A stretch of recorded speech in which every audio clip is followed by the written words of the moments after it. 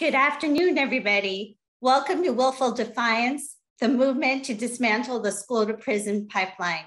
My name is Veronica Terriquez, and I direct the UCLA Chicano Studies Research Center, one of the co-sponsors of today's event. This event is also sponsored by UCLA Center X and the USC Equity Research Institute. To begin the event, we're going to hear some spoken word from the Sacramento area Youth Speaks. They don't care if our babies thrive at school, long as they get by at school.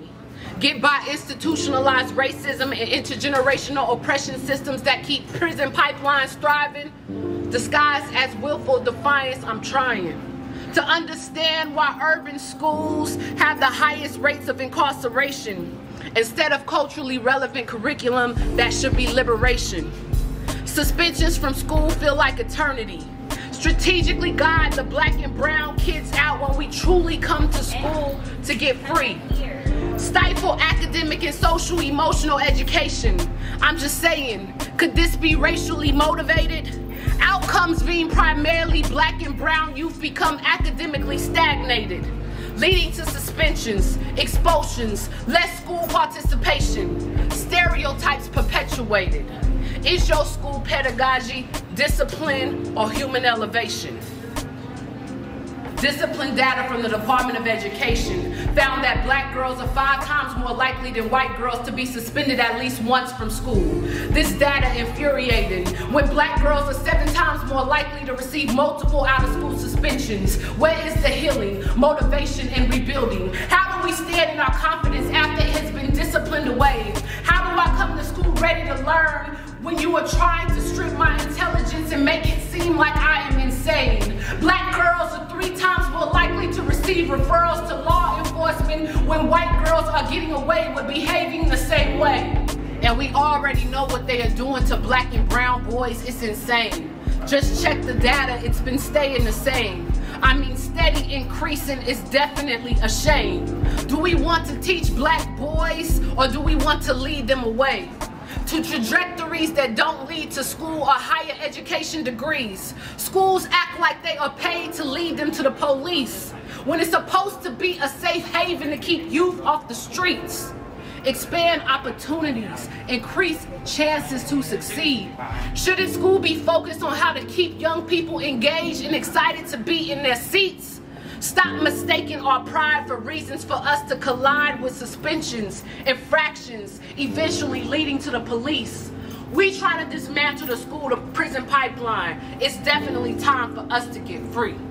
Who their students are and the environment they are living in. What students have to go through when they go home and live through before they can make it back to school again. Have you taken the time out to comprehend the life experiences of the children you are teaching and how your experience greatly differs from them?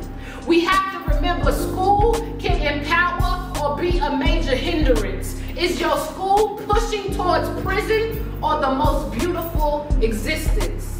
The difference is we fighting for educational justice. Trust us, we won't stop until our babies get free. Educational liberation means we have to fight for what we believe.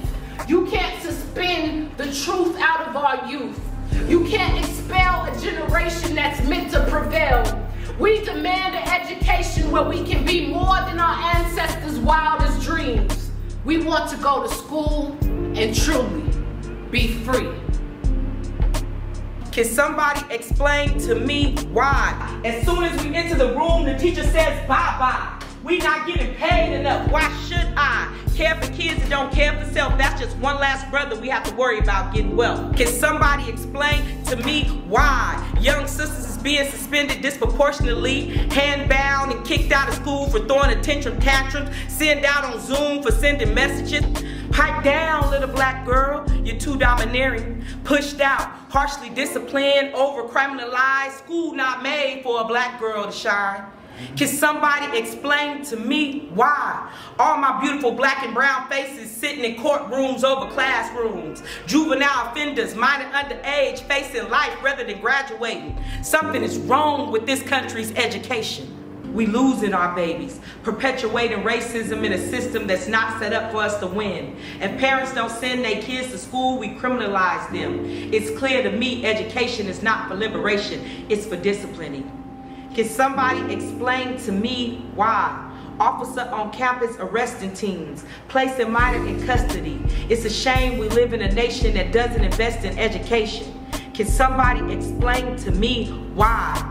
Being black in school is a crime. My skin not willfully defiant is just a dirty trap to keep us trapped in the school to prison pipeline.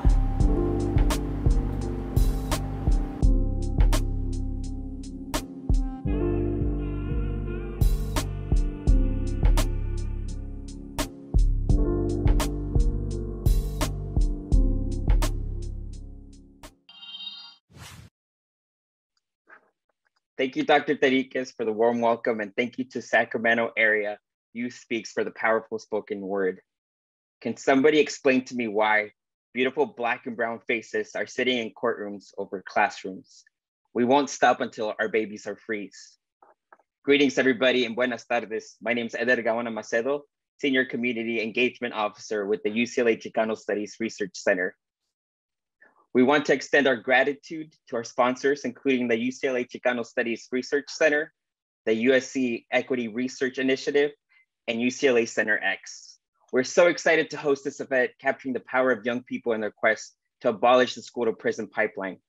Willful Defiance, the movement to dismantle the school to prison pipeline, shows how grassroots community organizing groups have worked to dismantle the school to prison pipeline and zero tolerance discipline and advocate for police-free schools.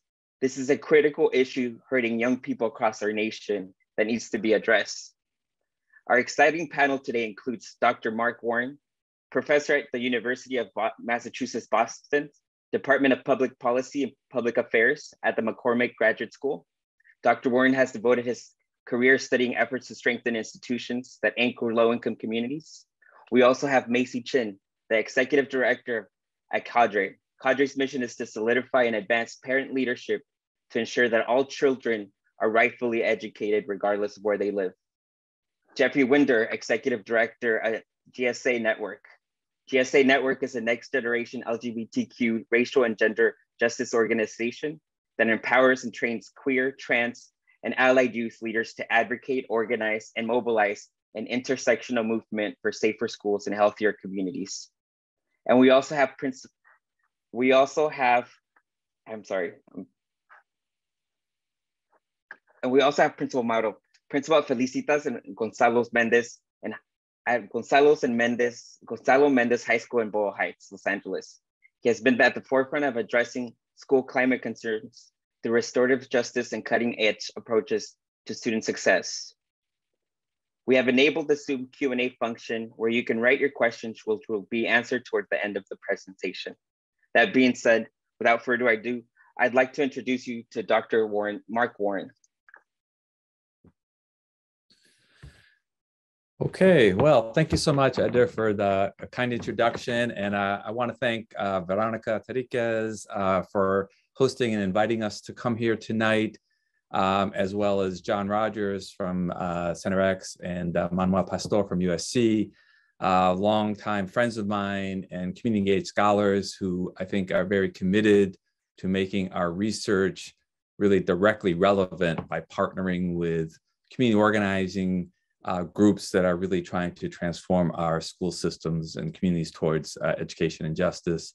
Um, Maisie Chin and Geoffrey Winder are, are partners with me uh, with the Willful Defiance book and ongoing efforts to you know transform our schools and dismantle the school to prison pipeline.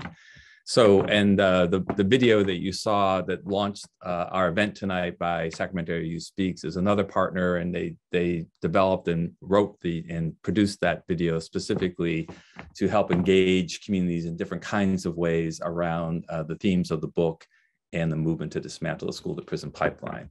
So, I'm going to try to talk for a few minutes to give you uh, a little bit of an overview of uh, what the, some of the themes of the book, what the book is about and then we'll turn it over to uh, Maisie and Geoffrey, who are, are, featured in the book, to talk also about the work that they're doing today as well, and then a commentary from uh, Mauro, which I'm very much looking forward to. So I'm going to try to uh, share my screen, uh, which will hopefully work. Um, great.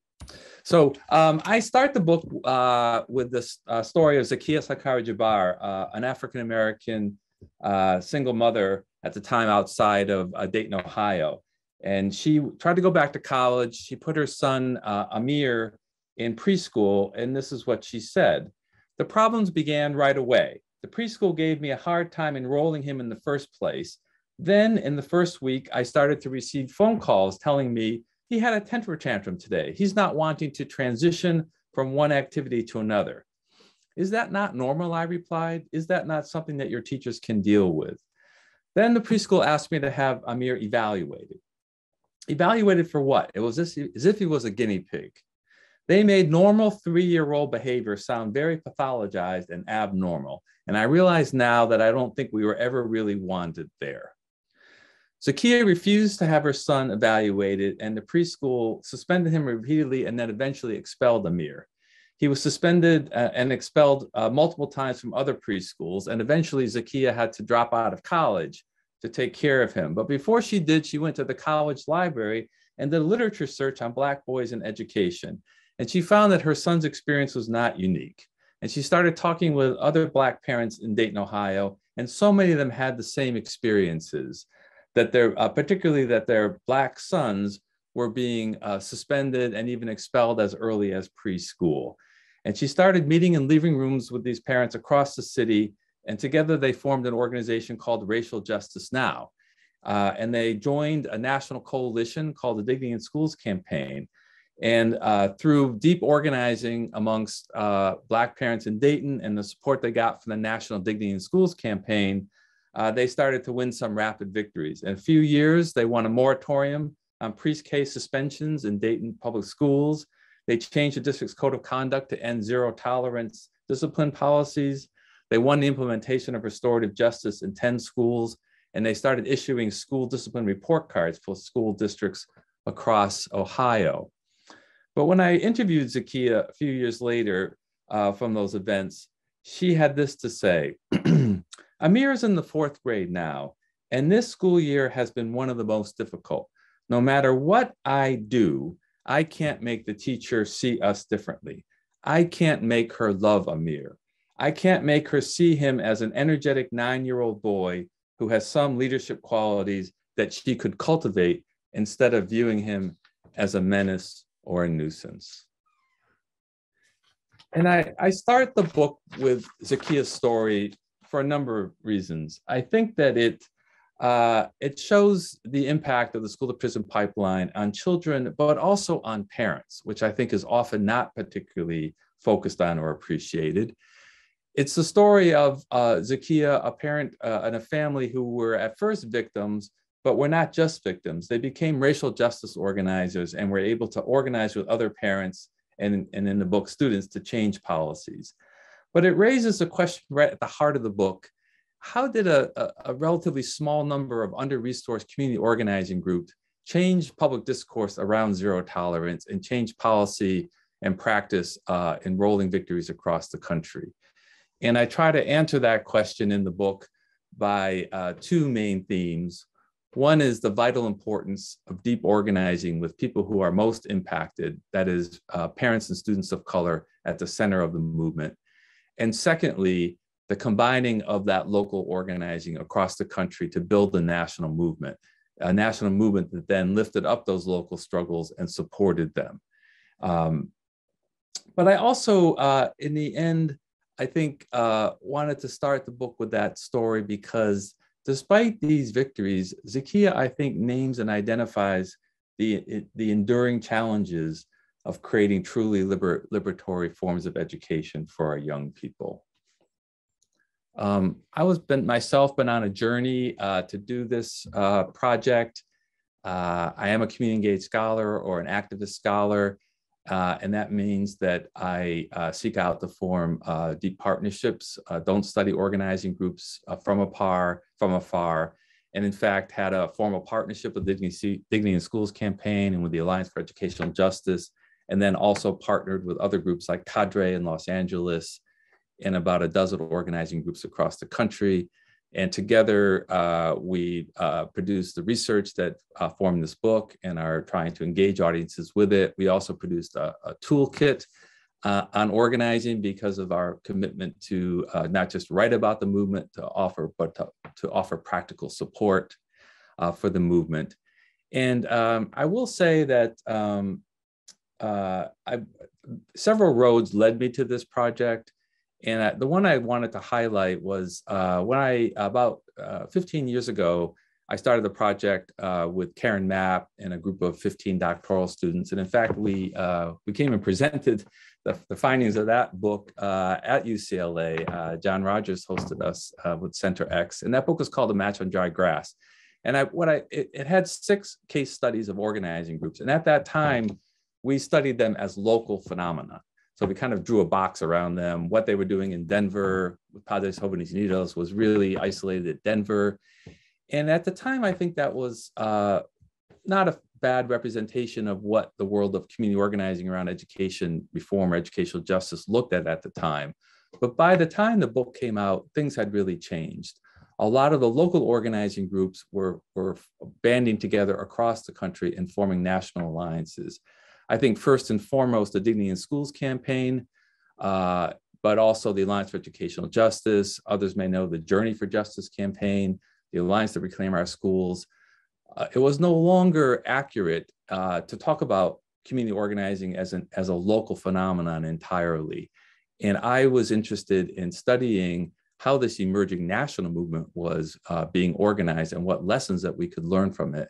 And I felt because I uh, was listening to parents and young people in the research that I was doing that the school to prison pipeline and the movement to dismantle it was emerging as really the critical uh, educational justice movement in the country.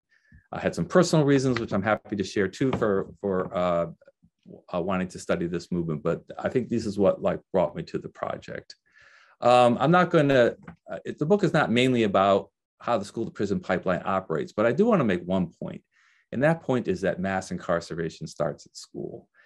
The rise of the school to prison pipeline is really part of the larger uh, system of what Michelle Alexander has called the new Jim Crow, can't be understood separate from that. Even as you know, Black children's parents are being criminalized and incarcerated at high rates, they then are often referred to police uh, or are even arrested in school or put on the road to the juvenile criminal justice system through harsh and, and racist school discipline policies. And we really need to understand the larger systemic structures that are, are, criminalizing our young people and their family and leading to the intergenerational transmission of poverty and, um, and lack of power. So I'll, I'll, leave it at that for now, but I think it's an important part of understanding why we need a movement. Uh, it's just not a, just a set of misguided policies it is really a systemic structure of, uh, of racism in our schools and our communities. Um, so the book starts off in Holmes County in the Mississippi Delta.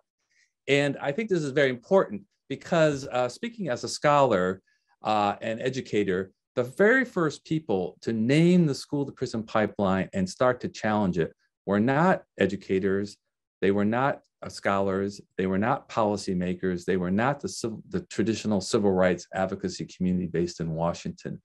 They were Black and Brown parents and young people in local areas uh, across the country. And I trace one of the key roots of the movement to Holmes County uh, in the heart of the Mississippi Delta, in the heart of the uh, slave system, where in the mid 1990s, even as policing and zero tolerance policies were ramping up in our schools, they were some of the first to name the school to prison pipeline and launch a campaign to try to challenge it. They called it the prevention of schoolhouse to jailhouse track. There were famous cases or cases that became infamous at that time. Case of uh, children, black children on a bus were throwing popcorn at each other. Popcorn hit the back of the white school bus driver. She drove the school bus straight to the police station, and seven African American boys were arrested and charged with criminal assault. And one of the very first organizing campaigns against the school to prison pipeline was their was their case to uh, free those uh, those young people who eventually the charges were dropped, but because they couldn't get transportation anymore, they ended up having to drop out or so-called so-called dropout, but being pushed out of school.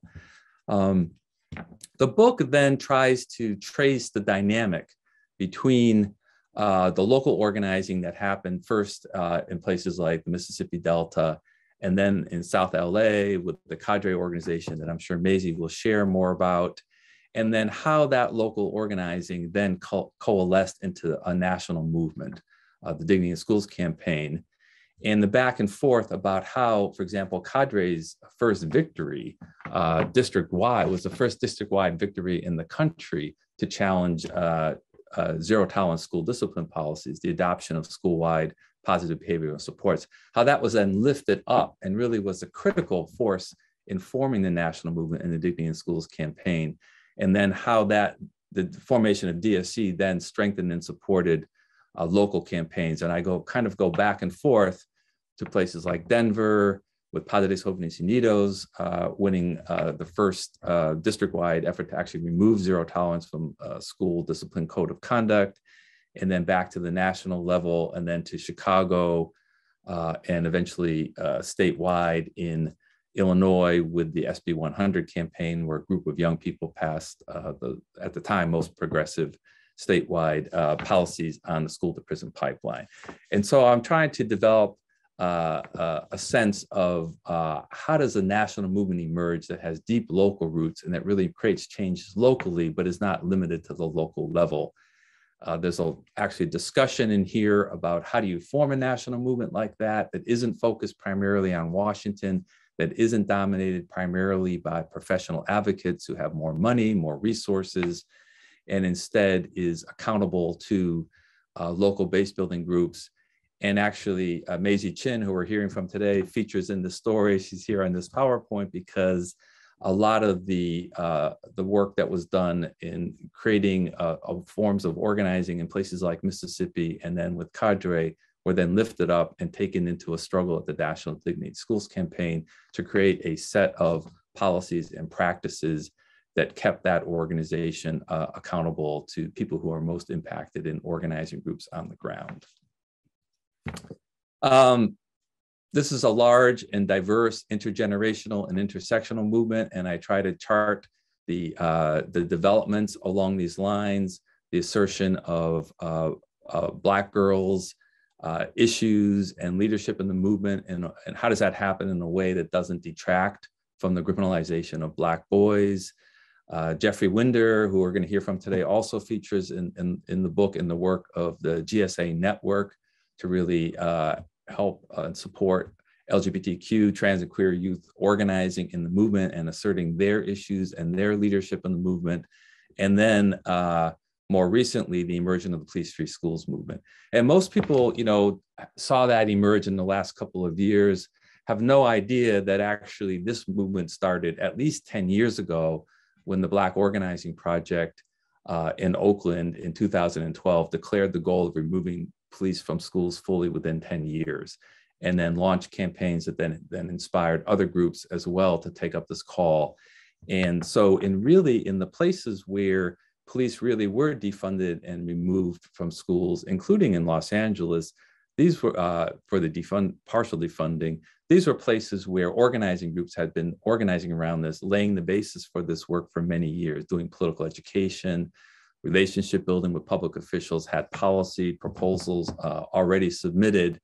And so I don't think we can really understand the victories that were won uh, in, tw- in 2020 and more recently on the wave of the uh, anti-racist and anti-police violence protests without understanding the important work that community organizing groups had done and laid the basis for that. And that work is also charted in the book.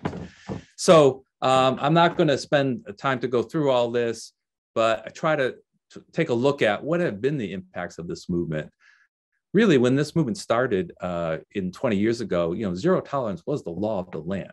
It was enshrined in state policies, uh, banning things like uh, or suspending students for something called willful defiance, which is why we titled the book that way. Actually, it was a criminal charge. In, in many states, uh, students could not just be suspended for disrupting school, but they could be criminally charged for it, and some were. Um, in any case, it was the law of the land. Uh, within 10 years, that has been completely, really overturned. Very few people will defend zero tolerance, even if it continues to be practiced in many places.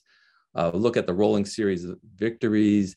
And in the places where I think organizing has been strongest uh, and policies have been changed, like in Los Angeles, there have been really drastic reductions in exclusionary discipline. I think in Los Angeles, it was uh, 75,000 lost days of instruction have gone down to, I think it's about 4,500 or 5,000 lost days of instruction now. Uh, but you know, at the same time, the enduring challenges, uh, the racial disparities have not changed very much. The persistence of police and policing practices, new forms of surveillance, and I think the challenge of really creating authentic alternatives that really transform uh, schools. So um, I just want to end on that note. Um, I really believe that the movement to dismantle the school to prison pipeline is not really, you know, and the changes in discipline policies and even the removal of police from schools is not really the end goal of this whole movement. Uh, it's really an entry point into a discussion about, you know, what is the what is the state of public education in many low-income communities of color, I think that many of us uh, have realized increasingly that this is a system based upon white supremacy and needs a wholesale transformation, not just in its school discipline or policing practices, but in, in, in its pedagogy, in its curriculum, and maybe more fundamentally in its relationship to parents and students uh, and families in the school. And I really hope that this book and this movement can contribute to a larger conversation and a larger movement around creating uh, education that is really uh, for the freedom and liberation of all our young people. So thank you very much. And I look forward to the comments of my uh, co-panelists. Thank you, Dr. Warren. Uh, up next, we have Maisie Chin. Hi, everyone. Good afternoon. Uh, there are a lot of friends and family on this webinar, and I am honored to have yet another opportunity and the privilege to share, uh, you know, nuggets of, of, wisdom from our work at Cadre in South LA. Um, I, my name is Maisie Chin, as you know, and I've had the honor of and, and the, the honor of being trusted uh, to co-found and uh, lead Cadre as a parent organizing center in South LA for over 20 years. And I come into this conversation today really with a spirit of love for the possibilities of true intergenerational solidarity. And we often call for it, um, but I, would like to offer up for everyone's consideration that in order to have that, we truly need to invest in the healing and the recovery and the repairing um, of our parents and of our Black and Brown Indigenous parents, um, of our extremely marginalized parents, um, Cadre was formed on the heels of an era in California of complete assault on young people. Those of you who are from Cali know and remember Proposition 21, a huge escalation of incarcerating young people and certainly trying them and viewing them as adults. Uh, and so, you know, you hear Mark talk about parents and parent organizing, and thank you, Mark, for, for always uplifting um, the unique contribution that parents can make to this. And that's really what I want to focus on today, um, because you know when Cadre started, you know we didn't exactly know we were going to end up specifically working on the school to prison pipeline, but we did know that we had to redefine what parent power looked like, and certainly how it's held inside of parents themselves. Um, Rosalinda Hill, the co-founder of Cadre, she was actually that that parent, you know, the one who was involved in everything. Uh, everybody knew her. All her kids went to that school. Uh, she was, you know, on the payroll as a part-time uh, community rep and greeted the parents every morning.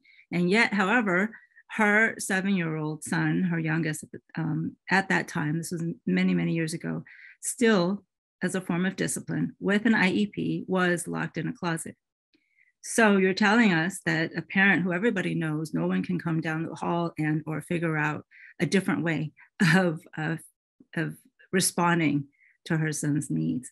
And so from the get-go, we knew we had to redefine parent power, that all the stuff that, and I know there are a lot of educators and administrators on here. And so what I'm about to say, hopefully, you know, fundamentally everyone knows is true, is that all the existing frameworks for, for parents to make an impact on schools rarely allow parents to touch the holy grail of uh, of racism in practices that happen on school campuses.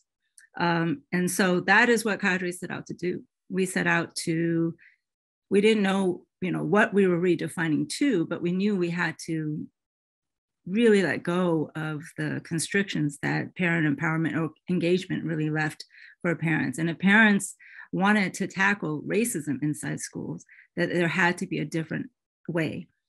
Um, and so you hear parents, yeah, yeah, yeah, but I definitely want to acknowledge the power of parents choosing to risk everything.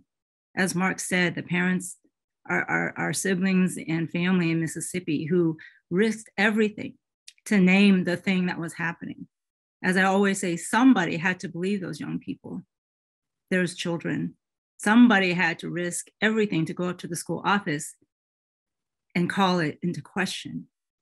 And everybody knows that school, quote, quote unquote, school safety, order, etc., school discipline, all of that has always, before our movement, had always been the purview of school officials. It was never held up to public scrutiny. It was never allowed, and was never considered the public domain, if you will, even though schools are public. So I really want to name Ms. Rosin and Naomi and Adrian and Erlene and Kenny and Hakima, who are our founding co-parents at Cadre, who chose back in 2004 that Cadre would actually be about ending the school to prison train is what we called it back then. Um, and, you know, there's a lot more I can say about what we did it's kind of all in the book so i encourage you to buy the book. Um, but certainly i just want to plant the seeds and really help folks you know shake up what you think about when it you know when it when you hear parent organizing or parents ending the school to prison pipeline. Uh, we are on here today with so much of our family from dignity schools campaign national and california specifically. Uh, my sibling Geoffrey who you're going to hear from next um, you know we both have the honor of, of shepherding DSC California and DSC California. Um, in the spirit of what we did at the national level, we've also done that in, across the state of California. And we now, through so much heart and soul, we have a statewide network of parents across the state who are constantly uh, raising their consciousness, building their power, coming together with Black and Brown solidarity uh, to really create an ecosystem where we all can win at the local level. And I just, you know, really hope that through, if you hear anything or get anything from what I'm sharing today, it's really thinking more imaginatively about the, what parent power could mean and what we need it to mean, that we need it to be a vehicle for liberation. And it isn't uh, a tool for the schools and the district's agendas. And so that you know, we are, are doing incredible work at Cadre, and I'm honored to be able to share it with you. Uh, and I'm certainly honored to be able to share this stage and this space with my sibling, Geoffrey. So turning it to you, Geoffrey.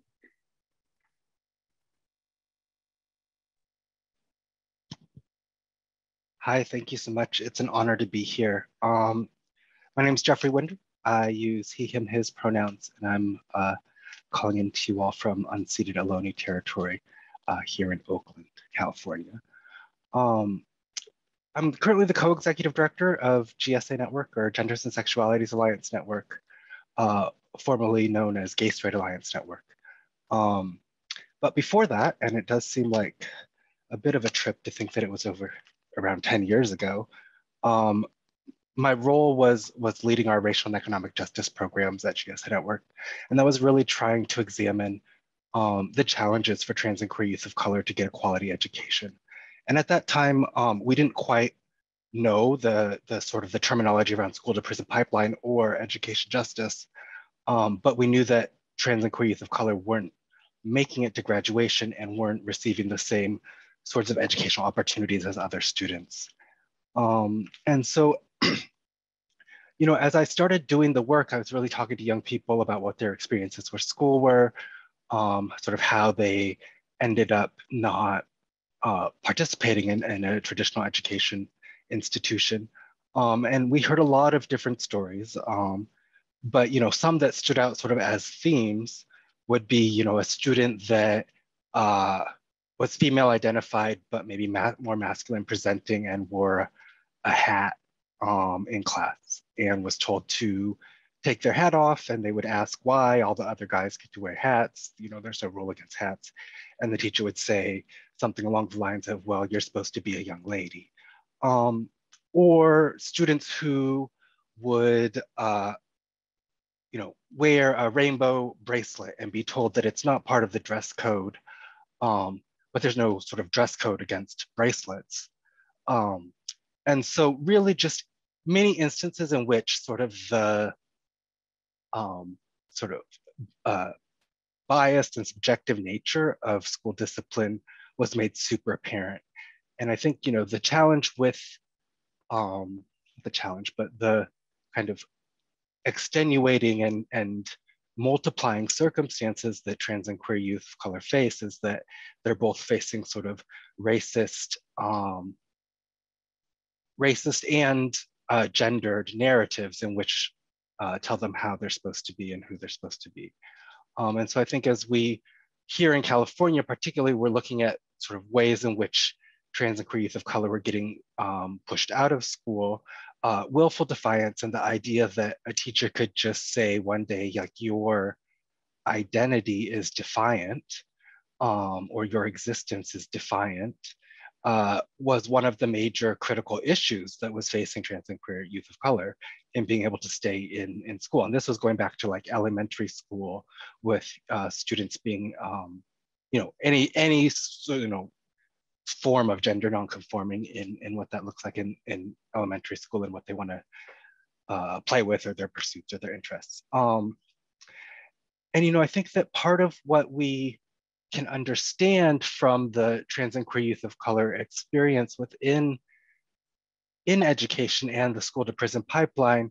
Um, and if it wasn't super sort of clear before, but that a lot of these things are not about necessarily behavior, but are about um, identity and creating the um, and, and, and that if we think more sort of broadly about how punitive um, uh, discipline works, that it's really about a policing mindset um, that ends up creating situations in which authority, the school, um, polices not only behavior, but identity based on what sort of master dominant narratives and white supremacy and heteropatriarchy say um, are the, the ways in which students should show up or be accepted or be behave uh, or behave. And so, you know, as we think about um, this current moment and sort of the backlash that we're in uh, across the country with trans and queer students, but you know, also linked to this idea around critical race theory, um, that the idea of uh, the the idea of, of young people um, being able to name who they are and have the freedom to pursue the future that they they want is what is also being policed as we think about the concept of police-free schools. And I'll leave it there. Thank you so much. Um, last but not least, we definitely want to welcome Principal Mauro Bautista at Felicitas and Gonzalo Mendez High School. Welcome. Hello, hello everyone. Uh, thank you for the invitation. First and foremost, I uh, hope everyone is uh, safe and healthy, and I hope your families are safe and healthy. Um, I'm gonna go ahead and share my screen. So I get an opportunity today to talk about Mendez High School's resistant, resistance to uh, a former LAUSD policy, which was uh, the random wanding of students, the daily random wanding of students. and before we get into the policy, a little bit of historical context. Um, um, Mendez High School was an LAUSD public high school uh, that opened in the Boyle Heights neighborhood in 2009. We were the first uh, LAUSD high school built in Boyle Heights in uh, nearly 80 years. Um, I, I, was fortunate enough to open the school as assistant principal in 2009 and then became principal in 2011. I was also very fortunate that when I became principal in 2011, uh, Mendez High School, um, through the Partnership for LA Schools, which is a network of schools within LAUSD that Mendez is a part of, receive restorative justice training before the entire district was receiving restorative justice training. It was uh, very early on. Um, and uh, I think it really impacted the way that we looked at um, school culture and relationships at school. Uh, it certainly had an impact uh, on me as, as the principal.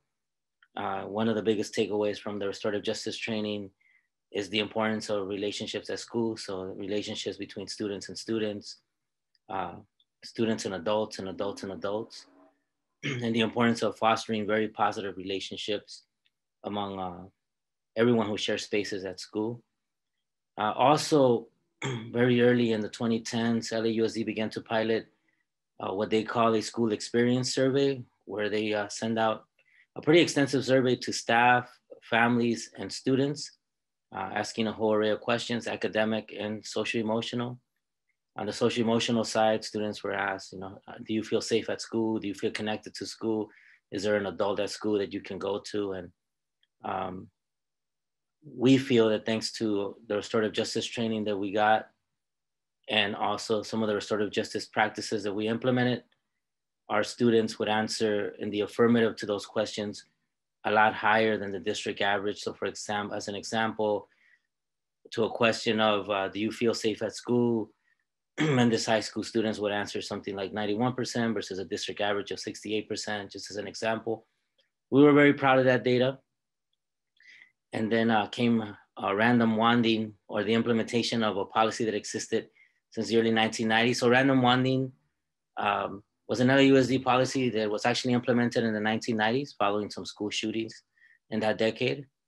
Uh, it was it really, although it was a policy, it lay dormant for many for many years. You know, when I became principal, I didn't even know about the policy, but in the mid 2010s, following more school shootings nationwide, uh, the district decided to enforce it.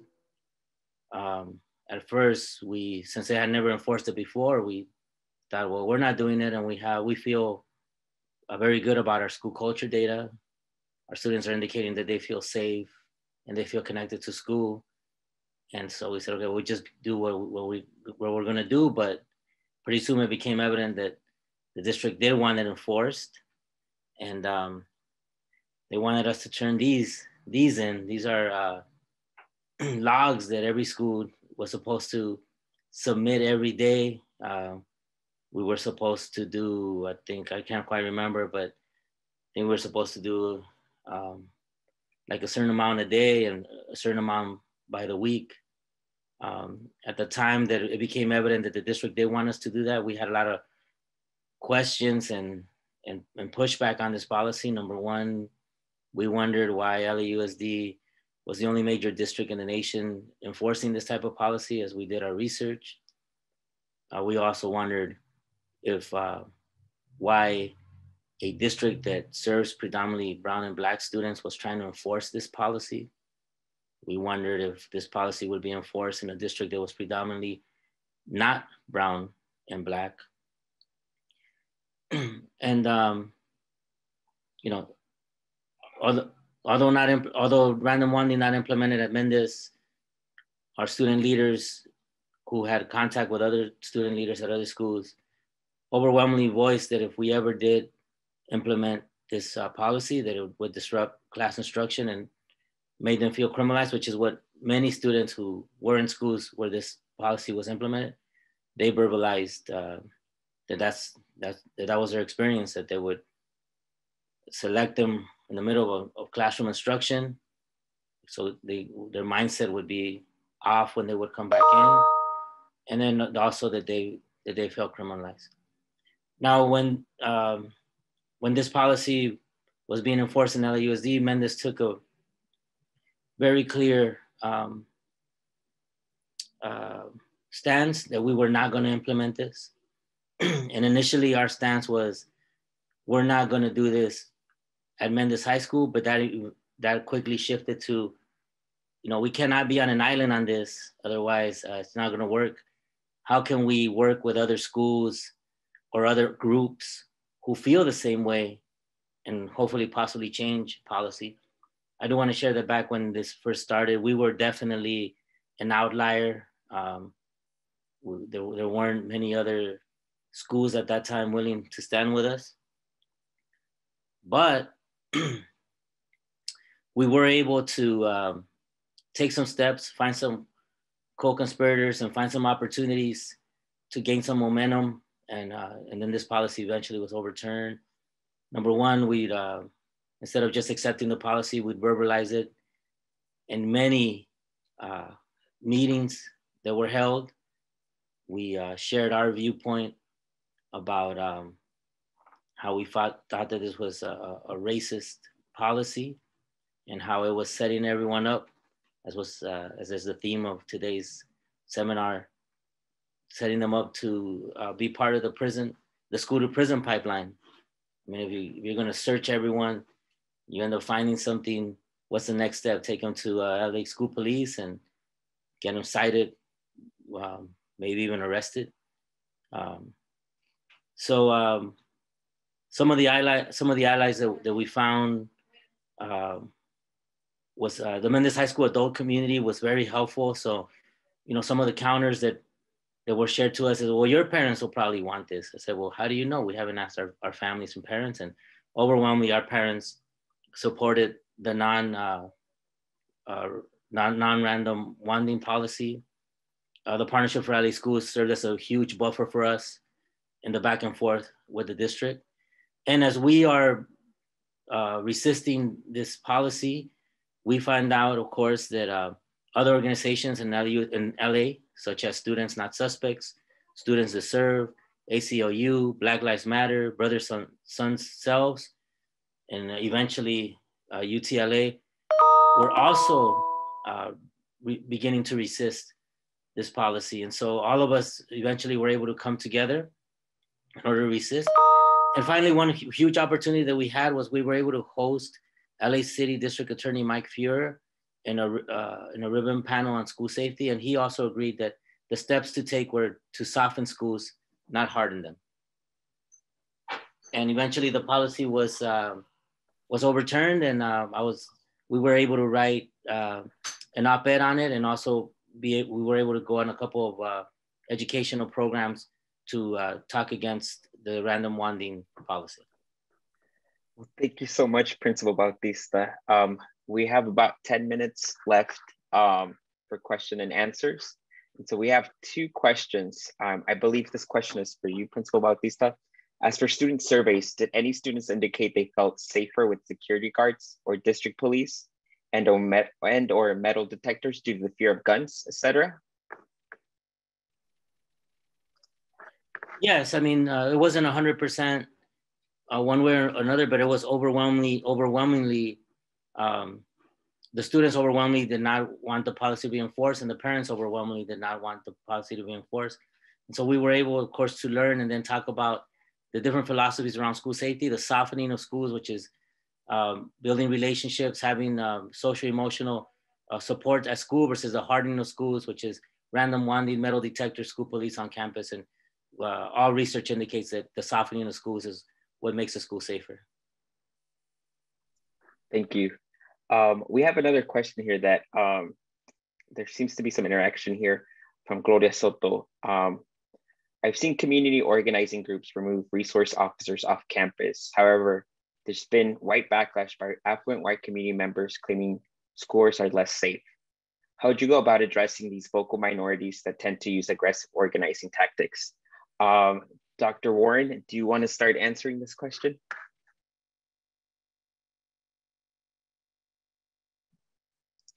Uh, oh, yeah, sorry, I'm having trouble starting my video, I guess. All right, here we go.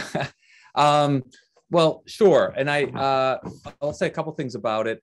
Um, I, I think that, uh, you know, this has been happening. You know, students are returning to school this year really traumatized by uh, the pandemic, by isolation, by loss in their families and they're coming back to schools that really for the most part have not invested in you know really support services in, in for them. Uh, and they're coming back to uh, you know and it's not surprising that there may be some incidences of fights or other kinds of things. There's actually no evidence that there's been more of them this year than any other time actually.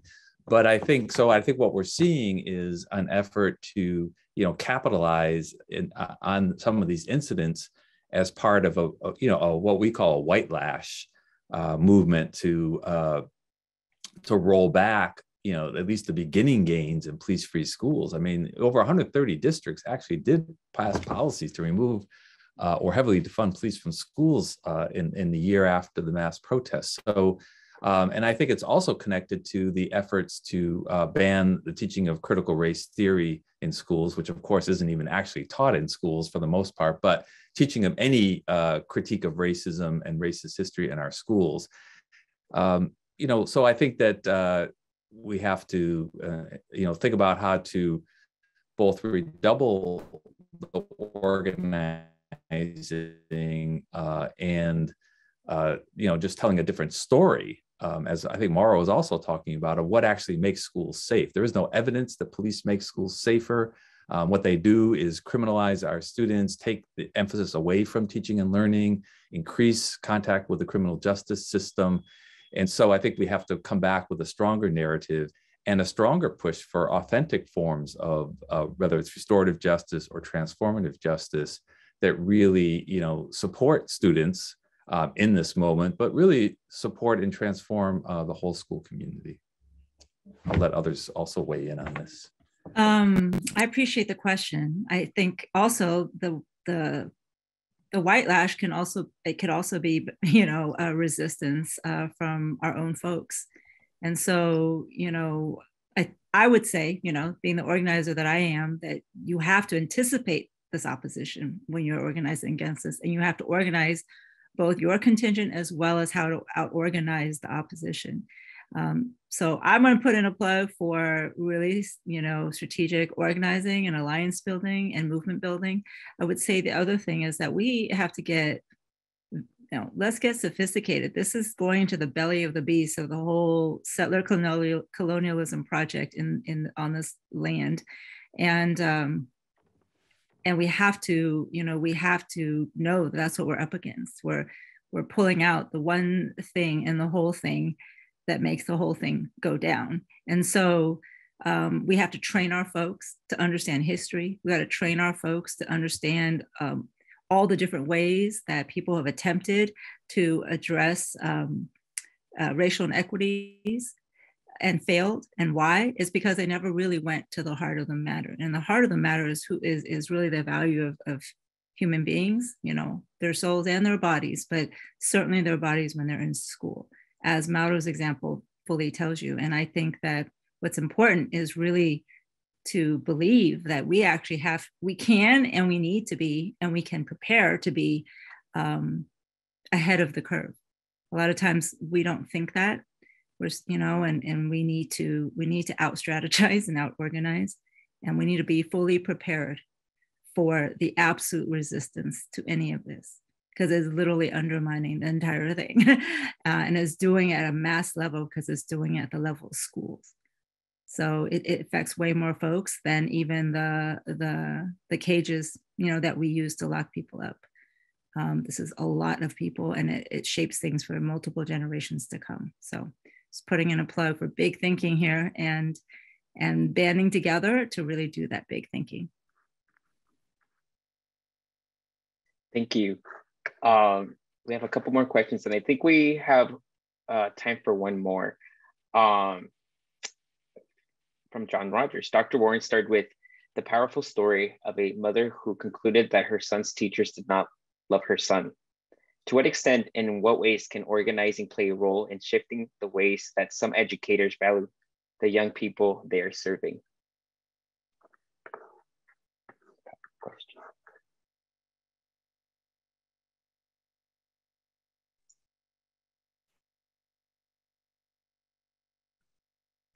Uh, Dr. Ward?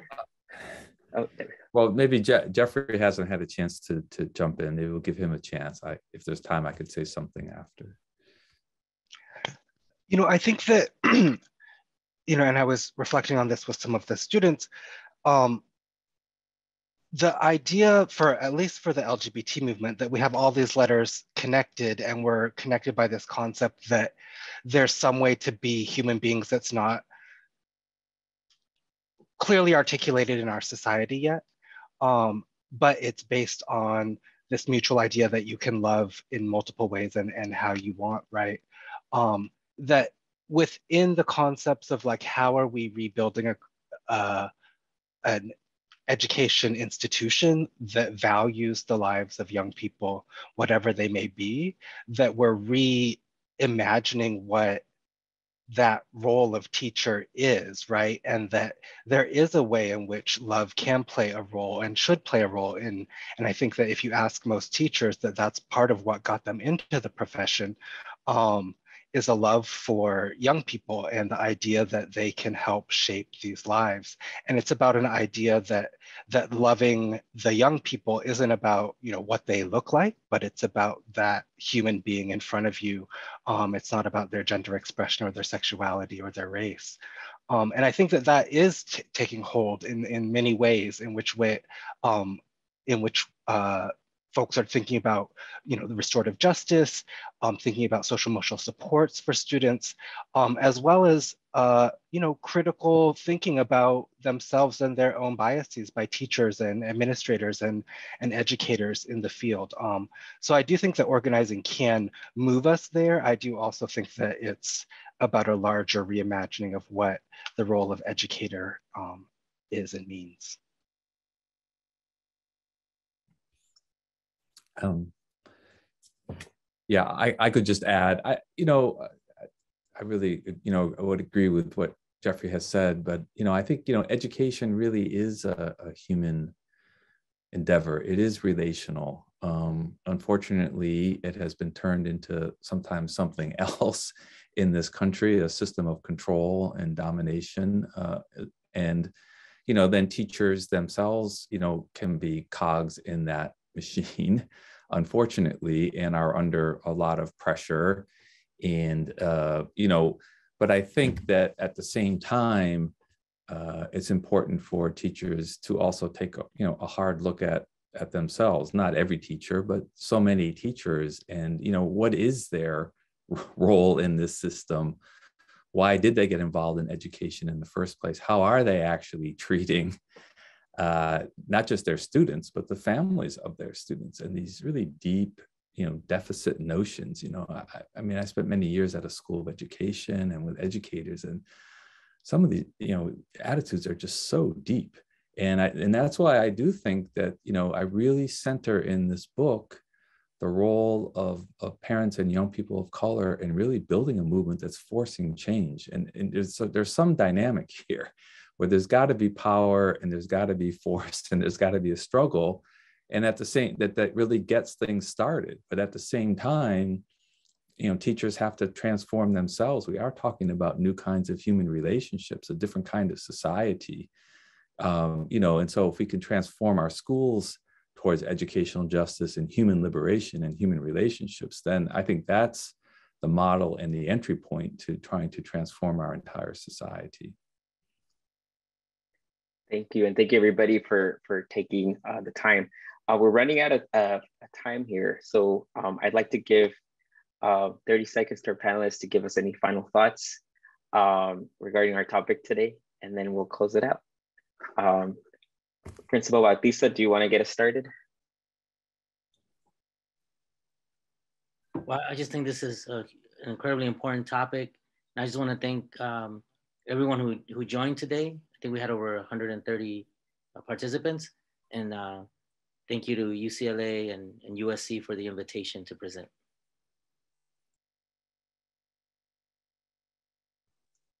Dr. Warren. Sure, I'll I'll just add that um, I think you know we're speaking here at um, at UCLA, and I think that you know part of the problem is that we have this hierarchical system, and that you know edu- educate policy policy researchers and scholars and you know educational administrators think that they have uh, all the answers that can really you know meet the needs of students. And that that system is fundamentally broken. It has not uh, changed our schools towards equity and justice and we need a new paradigm. And i think uh, the movement for the dismantle school to prison pipeline offers uh, a route in that direction. And I think that just the way that we have tried to organize this panel tonight, um, I am the author of this book, but I, I refuse to speak about it on my own. I always insist that uh, people who are doing the organizing and if even possible, parents and young people themselves uh, come and have their own voice, and that it's by bringing together scholars and organizers and parents and young people and educators like Mauro that we really have a chance to, to transform our, our, our, our schools and our communities towards um, educational justice and liberation. So thank you for hosting us to try to model in a small way the approach that we really think we need to be taking. Thank you, Geoffrey. Yeah, thank you all so much um, and uh, everyone for hosting. Um, I think just in this moment of reimagining our world and our way of doing school, whether that's remote or in person or however we end up doing it that we're also listening to and believing young people and parents about what their ideas for a radical liberatory education um, could look like and that we as a as a movement um, work towards making this next uh, century of education be far different than the last. Maisie? Hey, uh, yes, I echo everyone's gratitude for for being invited to do this and, and for everyone today who took time out to listen and digest this. Again, I'm just going to reiterate how I came into this conversation today, which is really a spirit of love for the radical possibilities of real intergenerational solidarity. So I'm going to leave you with this one thought, which is how can we love the kids but hate the parents? So it's powerful. Thank you so much, everybody. And thank you all for attending today's event. And thank you to our panelists. The link to Willful Defiance, the movement to dismantle the school to prison pipelines in the chat box. Um, we again want to thank our sponsors, including UCLA Chicano Studies Research Center, the USC Equity Research Initiative, and UCLA Center for Center X. Thank you all and have a good evening.